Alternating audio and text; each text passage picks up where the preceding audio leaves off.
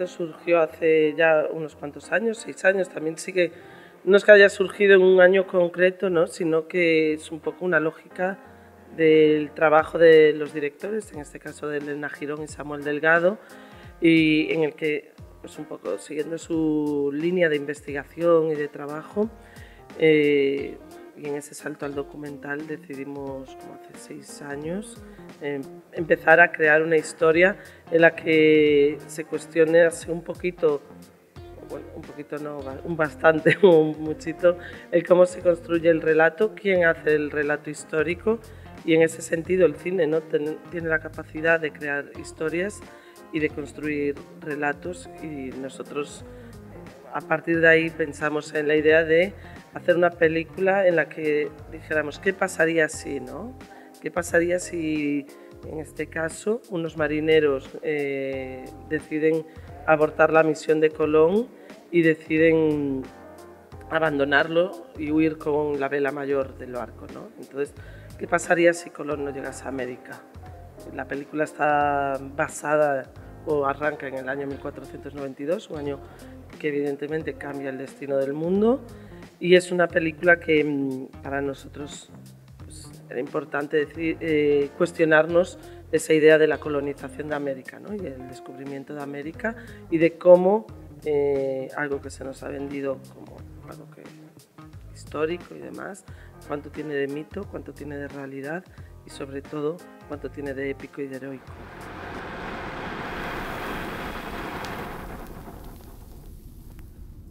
Escoitaches iso? Qué? Escoitei un ruido. Eu non escoito nada.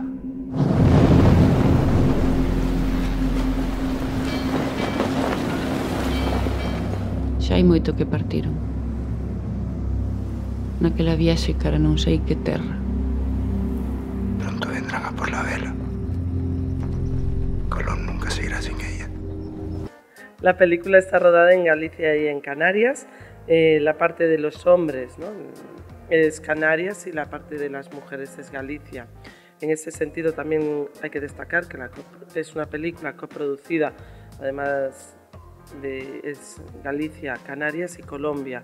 En ese sentido es importante señalar no solo por la historia, sino también por lo que significa ¿no? en estos momentos en el cine español. Eh, se está dando un fenómeno de nuevas tendencias o de un cine un tanto diferente que nace o que aparece sobre todo en regiones que no son hegemónicas o tradicionalmente los centros de producción de España.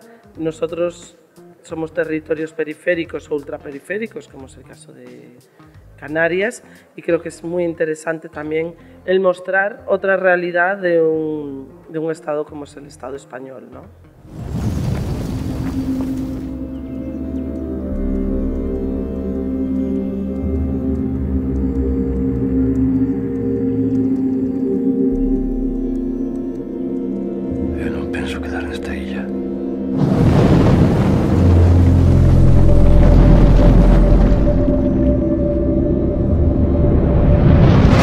Rodar una película siempre es un reto, ¿no? Y siempre, para mí, poner una cámara a rodar sobre un trípode es ya difícil de por sí. Y en este caso, la película eh, es un primer largometraje, por lo tanto, asumes unas complicaciones, unas dudas, ¿no?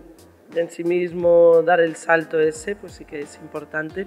Y luego, en cuanto a la producción, sobre todo creo que era el mezclar esos dos universos, ¿no? el gallego y el canario, y que conectasen, que dialogasen esos espacios, dos territorios que en nuestra cabeza en principio son muy, muy eh, diferentes y al final creo que funciona.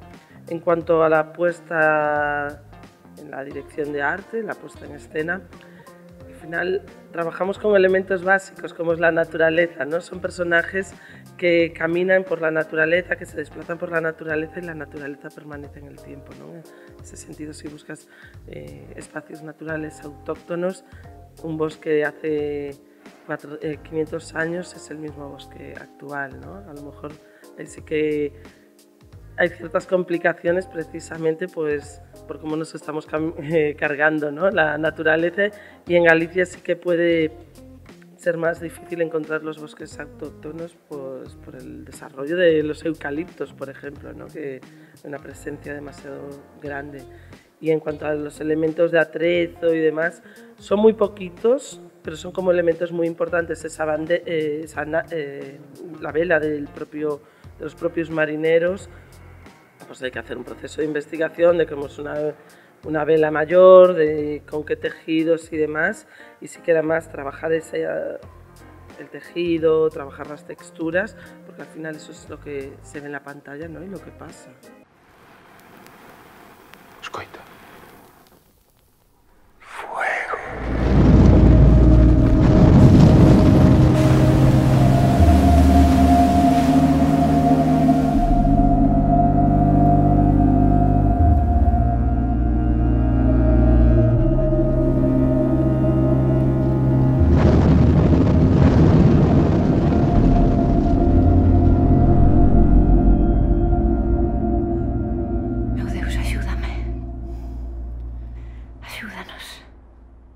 Eh, este año en el Festival de Mar del Plata, además de Les Transportan a Morte, también presentamos un cortometraje que se llama Sicorax, eh, que es el preludio de lo que esperemos sea un largo, que se materializa a lo largo del próximo año, y está codirigido por Lois Patiño, que es un cineasta gallego, y Matías Piñeiro, director argentino con ascendencia también gallega. Es eh, un trabajo en el que se mezclan los dos universos, los dos mundos con los que trabajan los directores. Es una adaptación, una pequeña adaptación de una parte de La Tempestad de William Shakespeare. ¿no? Matías Piñeiro hace ese desarrollo de, con Shakespeare siempre como punto de partida. Y el paisaje, la contemplación, el cinema sensorial de Luis Patiño. Por supuesto que os invito a verlo.